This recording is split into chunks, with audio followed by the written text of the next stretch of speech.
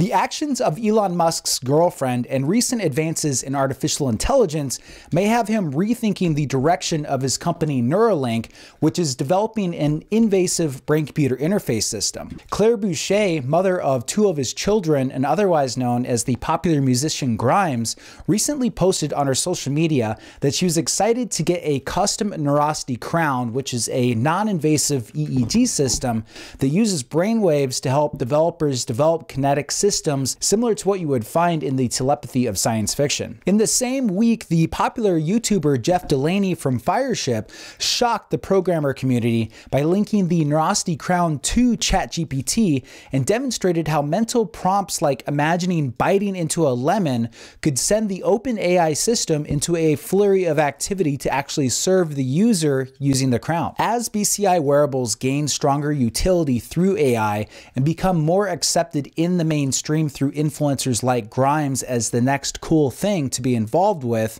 my question is was Elon forming a whole company around a potentially dangerous neurosurgery the right choice if he wanted to get involved with brain computer interface? First, let's start with the obvious. An implantable BCI system will have much better data fidelity in a small area of the brain than any current surface wearables will. This would allow paralyzed patients to navigate cursors on a computer screen or control robotic arms with much more precise degrees of control. Neuralink has already demonstrated this with its monkey test subjects who have demonstrated the ability to move a computer mouse cursor with their mind alone. In comparison, Surface EEG wearables are much more constrained by random noise on the sensors and require strong electrical activity from the brain associated with predefined signals like flickering screens or imagining biting into a lemon. But neurosurgery is extremely risky. Neuralink has publicly admitted that quite a few of their monkeys have actually died in their initial experiments. Now, don't get me wrong, I highly respect Neuralink's efforts and see animal testing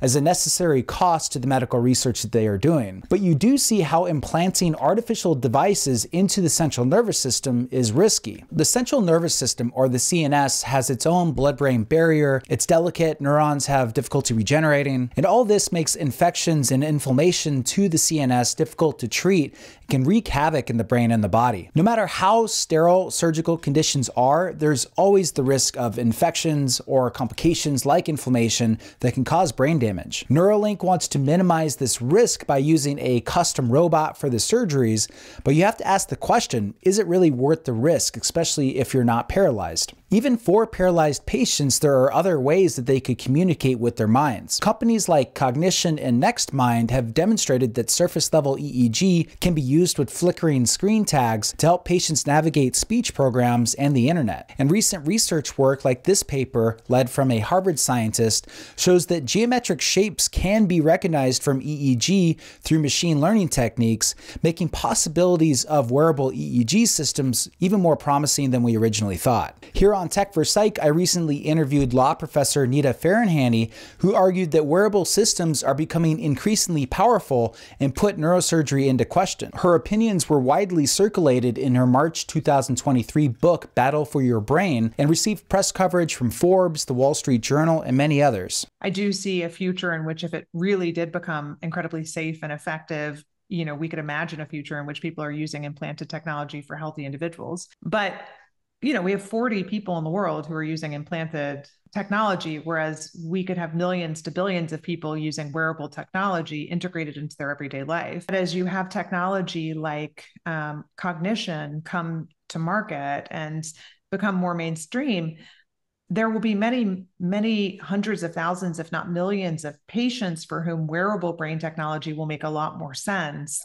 than implanted technology. So I think people are starting to and will continue to take wearable brain technology so much more seriously than they did in the past. As a result of more immediate at scale opportunities, wearable technologies may be able to bootstrap themselves into profitability much more quickly than Neuralink. Mary Lou Jepsen's open water FNIR system has had similar long term goals as Neuralink to create high fidelity brain computer interface systems, but their device is built out of materials readily available in the supply chain, and their non invasive approach has gained much faster approval testing through regulatory bodies. The Openwater water system uses harmless red light and ultrasound to track blood flow in blood vessels of the brain. And as a result, Openwater is finding massive early success in detecting blood clots in stroke victims well before they reach the hospital within ambulances, which will save many lives and has huge economic opportunity that can propel them to much higher goals in the BCI space. Neuralink, in contrast, seems to be relying heavily on Elon's personal $100 million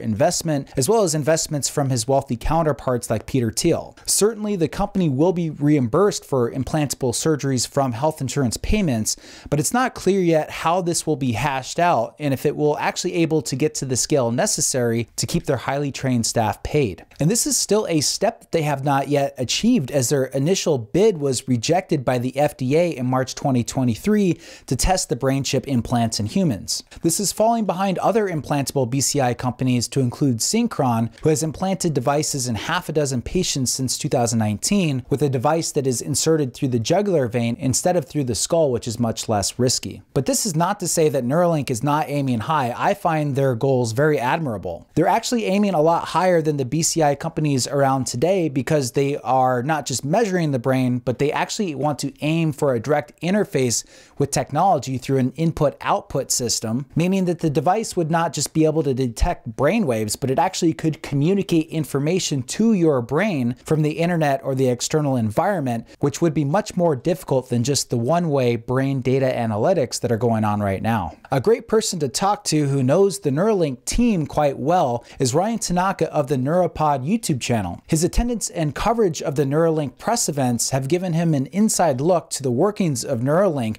that I think very few people on the planet have. The main takeaway that I had was how passionate and how smart the Neuralink team is. Another thing that I was that I came to appreciate more was that they're really wanting this to be an available BCI for everybody. Every decision that they make is going for scale. They want to build their own surgical robots so that these can be implanted at scale. In the case of Neuralink, like there's so many technical challenges to overcome and the initial use is going to be all medical re- related. So because of that, I think like it will not get to major scale until a couple decades from now.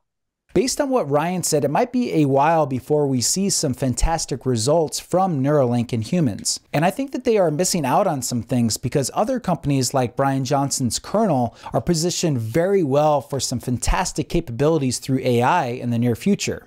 So there's a guy named Elon Musk and he has a company, one of the many companies called Neuralink. So it'd be interesting to hear your kind of opinions about a very different approach that's invasive.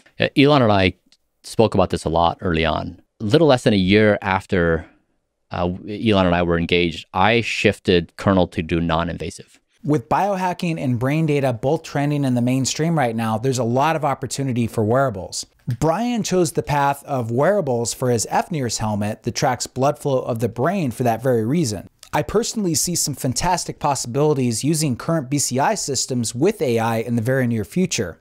For example, a Japanese team just demonstrated that with fMRI brain data alone, they could use generative AI to show what people were watching on a TV screen and create completely new images based on the brain's blood flow patterns. This breakthrough could apply to much cheaper FNIRS and EEG systems and could create the possibility of projecting our thoughts on a screen much earlier than we originally thought. Certainly within the BCI industry, information from implantables and wearables will feed on each other and improve the neuroscience on both sides. But with the wearable BCI industry heating up from influence like people like Nita and Jeff and Grimes, the general public is really waking up to the possibilities here. There's definitely some major shifts happening. NextMind, which was bought by Snapchat last year, Neurable will be pairing with a major headphone manufacturer this summer, and only time will tell. But I want to know what you think. Make sure to leave your comments and questions below, and I'll certainly respond. There's a lot more coming in the coming months, and I'll see you next time.